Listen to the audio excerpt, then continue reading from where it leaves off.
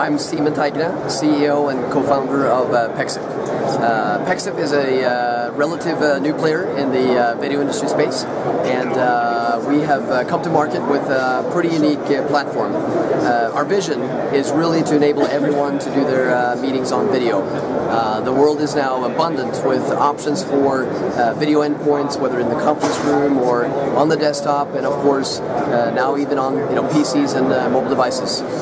UC clients like Cisco, Jabber, and Microsoft Lync are everywhere, and our customers are struggling. Then, how do I enable this to all work together and for all my employees? So uh, some of our customers have thousands of employees that they want to video enable, and uh, we provide them the software platform to, to do that. We're a company that started out of uh, Norway. We have our headquarters in Oslo, uh, Norway. Uh, we have our development team in the UK and Norway, and uh, we're now about 65 people around the world, uh, and we're actually present in uh, 13 countries around the world. So a global company from from day one. We saw an opportunity out there because video has been just an increasing application for for companies out there, but they've been struggling with basically two problems.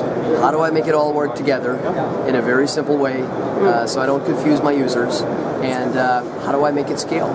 How can I give this to everyone? And when I'm out meeting with customers, uh, and I ask them, how do you meet when you're not meeting face to face? Most of them still meet using audio tool. Well, what if we can make this platform that can scale at a very affordable cost to really enable thousands and tens of thousands of people in a company to actually do their meetings on video every day. The essence of our product is really uh, to connect all these different uh, endpoints and clients. So as you can see up on uh, on the board here, uh, you can have uh, Cisco or Polycom uh, conferencing systems connected together with Microsoft Lync lines. Skype is also a part of it now, and an additional capability that we offer is for anyone to join a meeting just using their web browser. So really opening up the world so that you can bring in uh, partners, customers, people from the outside into your video meeting by just simply sending them a link. Uh, open that in your favorite browser and be a part of the uh, the meeting. So, uh, and this is all connected by our distributed architecture, and this is really uh, the juicy bits of uh, what Pexip is all about. So, uh, I mentioned that it's a software platform. It's designed for a virtual environment, and our customers can deploy Pexip all around the globe in their company uh, to really enable the scale and reach of, of the solution. I must say that uh, when I joined the industry in 2005, I thought that uh, things were converging. Uh, I was very wrong. There are a lot of options out there, a lot of different systems, and a lot of different preferences. Uh, but I think that one of the things that we have uh, failed to do in our industry is to uh, walk before we can run.